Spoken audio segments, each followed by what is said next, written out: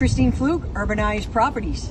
My name's Eric Greenstein with SoFlo Real Estate Investors. We are here at this SoFlo Summit that Eric and Bobby have put on. And here we are once again. The first time that we were able to attend together, mm-hmm. I spoke at your event in October 2021. That was great, an awesome event. Great, that was great, great speakers as well. Yeah, yeah. Hey, one of them was you. me. Oh.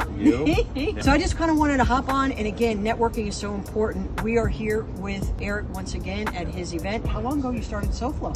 2019. How I started was because I couldn't find something like it. And it got me really upset that real estate investors, there wasn't really a community yet. Like, right. They were around, but like everything was kind of like very salesy. So decided to start my own, and it took a while, but here we are now. We're in West Palm, Fort Lauderdale, yep. Miami. We're in Orlando, Tampa, and in Colorado. In um, Wynwood area. I remember one time that he did a webinar, and I remember attending the event, and we had probably I think about like six or seven people, and here we are today, and there's how many? 120. There you go. Just staying at it and creating an opportunity here for South Florida people to connect investors right. and do deals together. That's so it. Let's it. stay in touch. And thank you for hanging out.